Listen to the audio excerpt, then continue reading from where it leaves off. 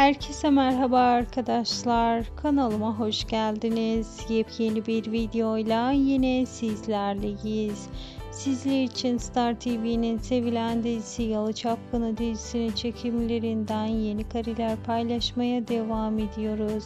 Deprem sonrası dizimiz ilk kez sete çıktı ve setten ilk kamera arkası paylaşımlar gelmeye başladı bile.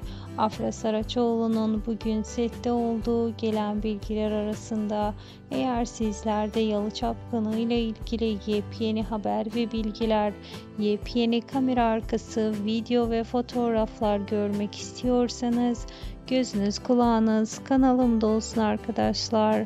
Şimdilik ise benden bu kadar. Bir sonraki videolarda görüşmek üzere. Hoşçakalın.